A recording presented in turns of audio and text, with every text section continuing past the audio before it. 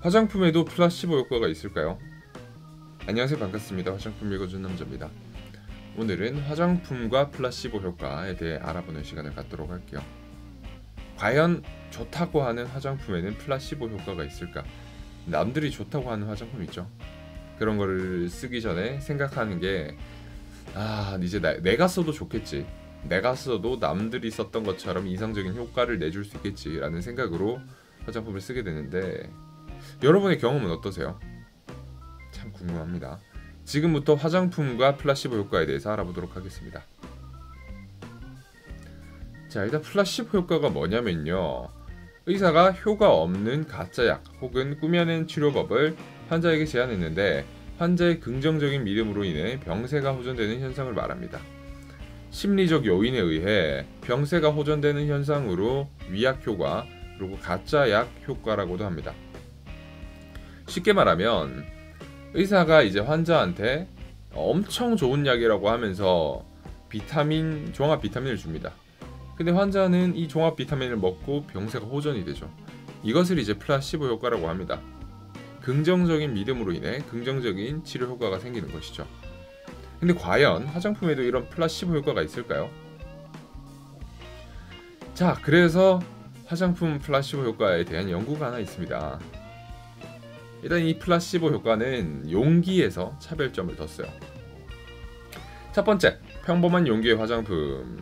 그리고 두 번째, 매우 고급스러운 용기의 화장품을 이제 대상, 실험 대상에게 사용하도록 했습니다. 근데 제형은 동일했어요. 안에 충진되어 있는 제형은 동일했어요. 그리고 사용을 했습니다. 사용을 시켰는데 평범한 용기 화장품의 사용량이 참 재밌어요. 고급 용기 화장품의 사용량보다 많았습니다. 이게 되게 재밌는 게 고급 용기에 든 화장품은 비싸고 아까워서 뭔가 적게 썼나라는 생각을 하게 됐어요. 근데 어쨌거나 많이 쓰든 적게 쓰든 결과는 동일했습니다. 피부 개선 효과는 동일했어요.